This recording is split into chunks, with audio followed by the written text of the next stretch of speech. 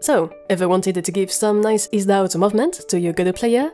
Or add some bounciness to your UI transitions? Then you needed to discover the power of tweens.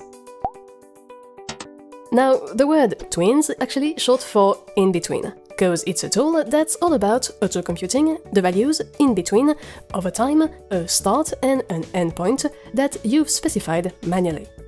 And something really cool with tweens is that, uh, contrary to animation player nodes, you don't need to know your final value in advance. It can be computed on the fly, in your code, for example, if you want to move a node, like your player, uh, to a completely dynamic point on the screen.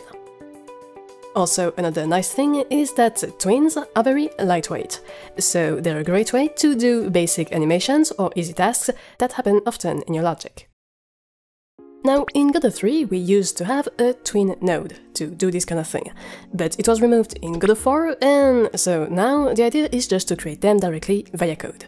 And actually, this is super easy to do just by using the getTree.createTween built-in.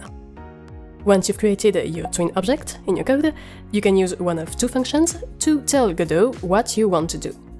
With tween property, you have to pass the object to operate the tween on, the name of the property to tween, the final value for this property, and the time span to tween over.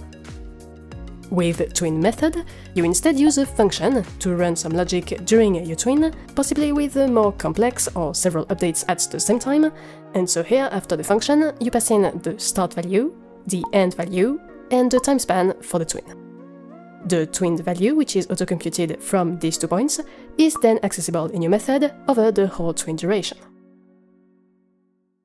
Something essential to note is that as soon as you've created your object in your code and given it at least one of those two tween commands, then the engine will run your tween directly when it gets to that point in the logic, in a fire and forget way.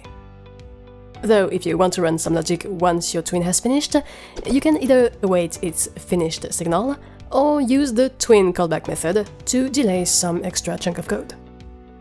Okay, now that's already pretty cool, but honestly, this is just the basics. There are a lot of other great tools that you can use to really customize your tweens and make really cool effects. For example, by default, your tween commands will run one after the other. But if you want, you can use the setParallel method on your tween object or the parallel function on your various commands to tell Godot to run everything at the same time and thus get a more complex animation where multiple properties change together. Or if you need your tween to run even when the game is paused, then you can use the setPauseMode method.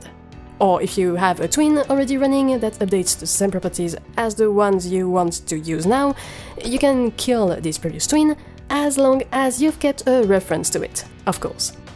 Or you can change the overall speed of your tween, or you can chain your tween commands with the set delay built-in to have them wait for a little while before starting, and thus create offsets in your animes.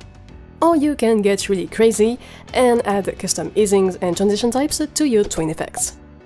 That's typically how you can get a cool dynamic movement for an object, or a more bouncy feel, or a powerful shoot animation.